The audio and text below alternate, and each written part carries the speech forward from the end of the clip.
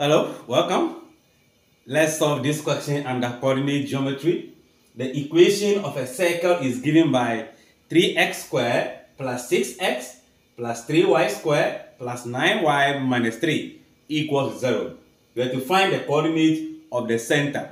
So let's rewrite the equation.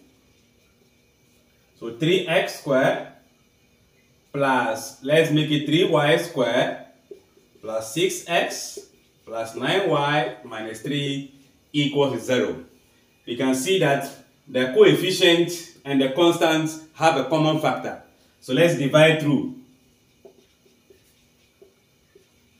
by 3, meaning I'll be having, okay, 3 dividing this will give us x squared, dividing this y squared, 2x, 3y minus 1 equals 0. Now that you make the coefficient of the variables unit, we can compare.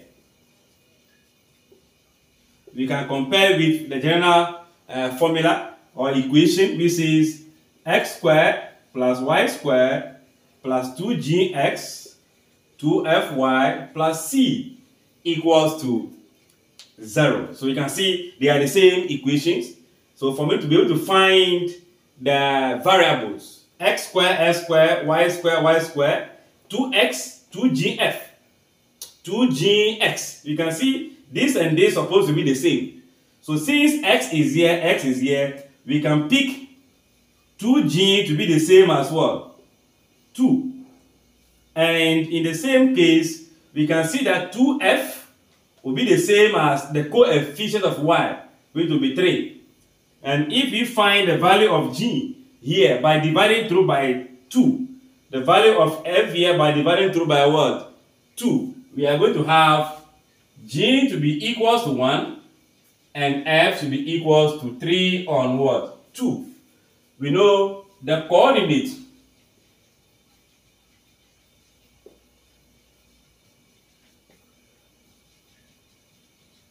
of the center is given by negative g, negative f. You know, this is the, uh, the, the center with a negative attached to the G and that of what? The F. So this will give us negative here will be negative 1, negative here will be negative 3 on 2.